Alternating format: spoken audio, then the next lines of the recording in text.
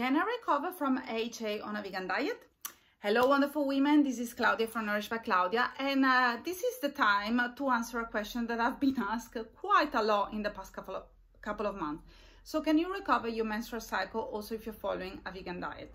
So, first of all, I would like to say that hypothalamic amenorrhea is caused because the hypothalamus, which is the wonderful part of the brain that releases the sex hormones, uh, isn't communicating with your reproductive system. And this lack of communication is due to um, undernourishment, overtraining or overexertion of the body, and uh, stress, also caused by PTSD and grief or general stress.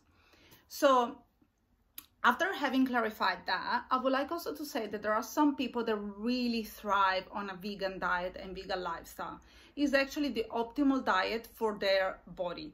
But other people, for some reason, although they would love the idea of being on a vegan diet, support the environment, support the animals, and so on and so forth, unfortunately, their body gets depleted pretty easily because of it. So now that I've clarified these two points, I would like to move on to an answer to your question, which obviously is not that straightforward and is quite multifaceted. So first of all, I invite you to be completely honest with yourself. So when did you get HA? When did you lose your menstrual cycle the first time? Do you think that you lost a menstrual cycle because you started a new fitness regime or because you started a new diet, such as vegan diet, or because you're not coping with stress as well as you did before when you were on a different diet? When you finish a meal, do you feel that you are completely satisfied, full, and you have plenty of energy uh, for the rest of the day and you are completely satiated until the next meal? Or do you feel that you still have an appetite for something? Do you ever crave uh, um, meat? Do you ever crave fish? Do you ever crave eggs? Are you losing hairs? Have you got your blood test results back and you're lacking in B12, zinc, and um, iron? How are you sleeping at night? How is your muscle strength? What about the bone strength? So these are all questions that you need to answer to yourself before asking outside for answers. Obviously, if you're watching this video, it's because you're hoping and expecting me to say yes or no. But the reality is that you have the answer to this question, you and only you.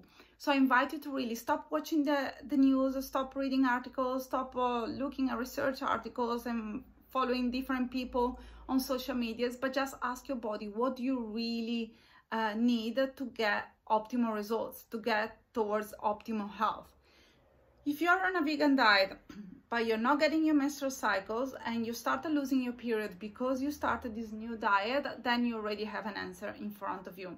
Unfortunately, the menstrual cycle is the fifth vital sign, which means that your body is not in homeostasis, which means being in balance, um, if you're lacking the period.